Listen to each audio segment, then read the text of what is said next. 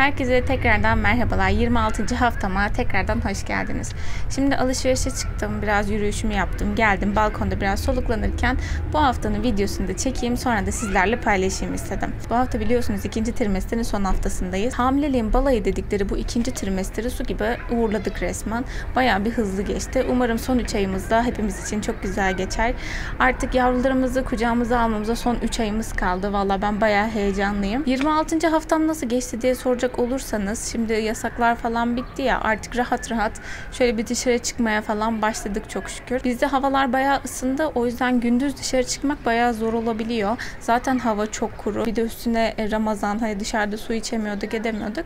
O yüzden bayağı bir zor oluyordu. E, akşamleyin iftardan sonra yürüyüş yapalım desek o saatlerde de zaten yasak olduğu için çıkamıyorduk. Bundan sonra akşamları güzel değerlendireceğiz diye düşünüyoruz. Zaten 9'a kadar vaktimiz var. Sizlerin de vakitleri varsa kısa ufak yürüyüşler iyi gelecektir. Hem ufak bir egzersiz olur akşam yemekleri sonrasında hem de temiz hava almış olursunuz diye düşünüyorum. Barış'ta olan videomuzu belki izlememiş olabilirsiniz. O yüzden buradan tekrar söylemek istiyorum. Çünkü yorumlarda falan yazıyorsunuz kaç kilo aldığıma dair. Şu an 69,5 kilo olarak ikinci trimesteri bitiriyorum. Yani toplamda 63 e, ile başladığımı düşünürsek 6,5 kilo aldım diyebilirim. Bu normal değerler. Siz daha fazla da almış olabilirsiniz ya da daha az almış olabilirsiniz. Kesinlikle hiçbir durumda endişeye düşmeyin. İşte azalmışım daha çok yemeliyim demeyin. Vücut tipiniz neye müsaitse zaten vücut ona göre kendini ayarlıyordur. 26. haftada size önerebileceğim en güzel şey kendinize çok iyi bakmanız olacak.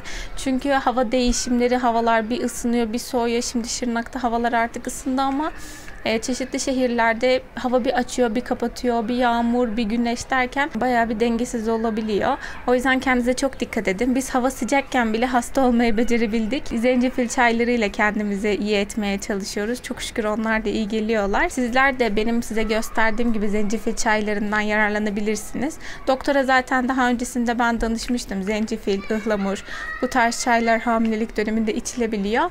Sadece işte ada çayı gibi çaylar içilemiyor. Yine farklı bir çay içecekseniz zencefil, ıhlamur haricinde bunları araştırabilirsiniz. Doktorunuza danışabilirsiniz. 26. haftaya dair benim aktarmak istediklerim bu kadardı.